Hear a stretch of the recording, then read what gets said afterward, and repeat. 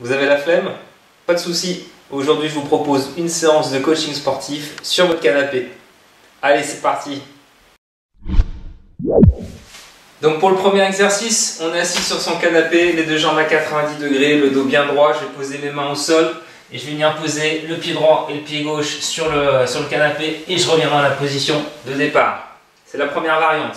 Si c'est trop facile pour vous, vous pouvez faire la même chose en faisant un petit saut. Donc je pose les deux mains, petit saut, je viens dans cette position et je reviens dans la position de départ.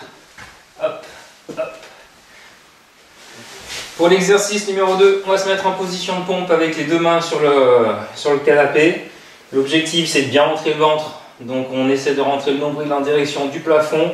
On serre bien les fesses, on est bien aligné, tête, épaules, hanches, genoux, chevilles.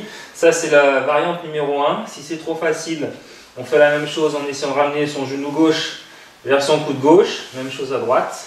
Si vraiment c'est trop facile, on fait la même chose dans l'autre sens. On met les mains au sol, les pieds sur le canapé, comme ça, et on vient ramener son genou vers son coude, donc à droite et à gauche.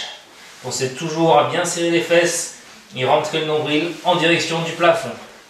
Exercice numéro 3, on est assis au sol, on va poser les omoplates sur le canapé. Je vais lever les fesses, je vais décoller un pied, donc une jambe qui est au sol, l'autre jambe qui est en l'air. Le but du jeu, ça va être d'essayer de descendre ses fesses et de monter le bassin le plus haut possible. J'inspire en descendant, je souffle en montant. J'inspire en descendant, je souffle en montant. Si c'est trop difficile pour vous, vous pouvez mettre les mains au sol. On peut s'aider comme ça, avec les mains. Donc pour lever le bassin, ça va travailler les ischio-jambiers, les fessiers et les lombaires. On fait sa jambe gauche, on récupère. Et après, vous faites la même chose avec la jambe droite. Donc jambe fléchie avec le talon au sol. Donc pour l'exercice suivant, on a simplement besoin de ses chaussettes. On va mettre ses deux mains donc au sol on a une jambe tendue, une jambe fléchie, la jambe tendue est sur le côté. Et le but du jeu, ça va être de changer de côté. Un coup à droite, un coup à gauche. Ça, c'est le premier niveau de difficulté. Si c'est trop facile pour vous, on va faire la même chose en accélérant. Toujours pareil, on rentre le nombril en direction du plafond et on va bien chercher à glisser avec ses chaussettes à droite et à gauche. L'exercice suivant, on a allongé sur le dos, sur les coudes, donc les pieds sont tendus.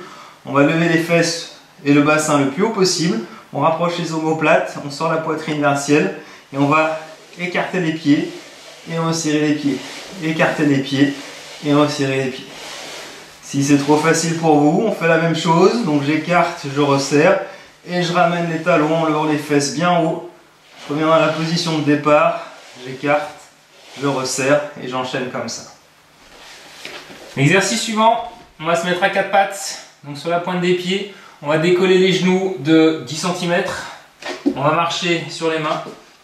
On se retrouve en position de pompe. Une fois que je suis dans cette position, je vais ramener mes genoux donc en direction de mes coudes à 90 degrés. Je repars en marche avant, je déplie les jambes et je ramène les genoux. Une fois que j'ai fait ça et que je ne peux plus avancer, ben, je fais la même chose dans l'autre sens. Je déplie les jambes, je marche, je déplie les jambes, je marche et j'enchaîne comme ça. Dernier exercice, on enlève ses chaussettes et on les met sous ses mains, comme ça. On va se mettre en position de pompe. On serre le bassin, on rentre le nombril, donc bien aligné. Et on va essayer simplement d'écarter la main droite. On revient dans la position de départ, donc les deux mains sous les épaules. Et on se fait la même chose à gauche, à droite et à gauche. Vous pouvez aussi changer euh, l'exercice en faisant la même chose devant. On revient à droite et à gauche. Pendant toute l'exécution de l'exercice, faites vraiment attention au placement de votre dos. Donc du bassin, il faut vraiment faire en sorte de serrer les fesses, de rentrer le nombril. À aucun moment on doit creuser le dos et avoir le bassin qui bascule sur l'avant. Donc chaque exercice va durer 30, 40 ou 50 secondes en fonction de votre niveau et respectivement la récupération va durer 30, 20 ou 10 secondes. Donc l'enchaînement va durer 8 minutes, vous prenez 3 minutes de récupération entre chaque bloc et vous pouvez en faire jusqu'à 3. Bon courage et à bientôt